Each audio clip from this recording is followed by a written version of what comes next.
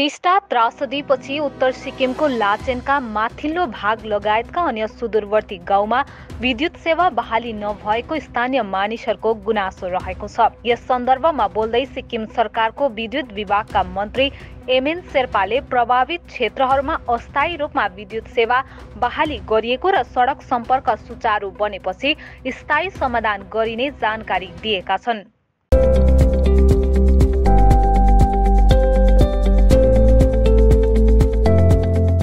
जुन चाहिँ लाचेनको कुरा गर्दाखेरि लाचेनमा पावर सप्लाई चाहिँ के अरे पहिल्यै रेस्टोर भएको।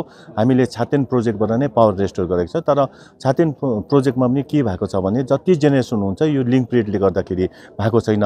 अनि प्रायः जस्तो पावरको सामानहरू पोस्टहरू बोकेर ला लानु पर्दाले गर्दा बाटो नभएको कारणले गर्दाखेरि कतिवटा जग्गामा हामीले इलेभेन केबीलाई रेस्टोर गर्नु सकेको छैनौँ र उहाँ अलिकति कमी कमजोरी आर्मी एरियामा चाहिँ कमी कमजोरी के अरे भएको छ। त्यसमा चाहिँ पावर हामीले इलेभेन केबी नै लगि लानु सकेको छैनौँ। तर जति पनि लाचेनमा बसोबासो गर्ने उहाँहरूलाई चाहिँ अलरेडी रेस्टोर हामीले छातेन प्रोजेक्टबाट नै धेरै अगाडिदेखि नै हामीले त्यो फ्लड गएको हप्ता दस दिनमै हामीले रेस्टोर गरेर उहाँहरूले बत्ती चाहिँ बाल्नु हुँदैछ तर उहाँहरूले जति उहाँहरूलाई चलाउनु पर्ने जति उहाँहरूले पाउनुपर्ने ट्वेन्टी फोर बाई सेभेन बत्ती दिनुपर्ने तर त्यो चाहिँ हामीले सकेको छैनौँ किनभने त्यहाँसम्म के अरे तपाईँको पोल गाडेर जति इन्फ्रास्ट्रक्चर छ उहाँको इलेभेन केबी के अरे हाम्रो स्टेसनदेखि लिएर सबै वास आउट भएकोले गर्दा सिक्सटी सिक्स वास आउट भएकोले गर्दाखेरि त्यो एरियामा हामीले यताबाट बाहिरबाट लाइन लानु सकेको छैनौँ।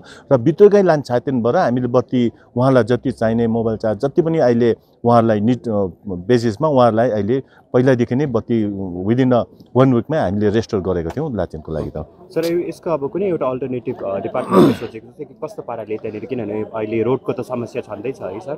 के के पाराले त्यहाँनिर फेरि हामीले यसको लागि प्रोभिजन निकाल्दैछौँ तर जबसम्म रोड हुँदैन हामीले त्यसमा पोल बोकेरै लानुपर्ने हुन्छ तारहरू हामीले बोकेरै लानुपर्ने हुन्छ केबल बोकेरै लानुपर्ने हुन्छ तर मेन पावर कुनै पनि प्रोभिजन नभएको जबसम्म रोड हुँदैन पर्मानेन्ट रेस्टोरेसनमा अलिकति टाइम लाग्छ। अगाडिबाट नै हामीले गभर्मेन्ट अफ इन्डियालाई पनि हेल्प मागेर हाम्रो स्टेट फन्डबाट पनि हामीले धेरै काम गर्दैछौँ। हामीले जति पनि यो इन्फ्रास्ट्रक्चर बनाउने काम किनभने तपाईँलाई यादै छ इलेभेन केबीको त झन्डै सिक्सटी सिक्स बाई इलेभेनको त कतिवटा त हाम्रो स्टेसनै वास आउट भएको कारणले गर्दा हामीले टेम्पोरेरी रेस्टोरेसन चाहिँ हामीले मोटामोटी विदिन अ विक पन्ध्र दिनभित्रमा हामीले गरेको छौँ। तर पर्मानेन्ट रेस्टुरेन्टको लागि चाहिँ अझै पनि जबसम्म रोड ठिक हुँदैन तबसम्मको लागि हामीले केही गर्न सक्दैनौँ जस्तो लाग्छ। किनभने इलेभेन केबीको पोस्टहरू लगेर जाँदा मान्छेले त्यहाँ बोकेर लाने प्रोभिजनै छैन अहिले।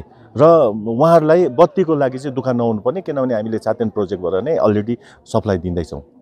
भनेपछि जब रोड बनिसक्छ त्यहाँबाट चाहिँ लाइट चाहिँ एकदम स्मुथली आउन थाल्छ हजुर हामी रोड टिलाई हुँदाखेरि पनि हामीले प्रोभिजनहरू निकालेको छौँ। हाम्रो टेक्निकल पर्सनहरूलाई मोटामोटी हामीले दिशानिर्देशन दिएको छौँ। काहीँ न काहीँ हामीले केबलबाट पनि लगाएर जुन जुन एरियामा पुगेको छैन र मोटामोटी पुगेको छ यो एक दुईवटा एरियामा पुगेको छैन। त्यो त्यसमा पनि हामीले डिजी लगाएर डिजी सप्लाई गरेर उहाँहरूबाट बत्ती बाल्ने काम त भइराखेको छ।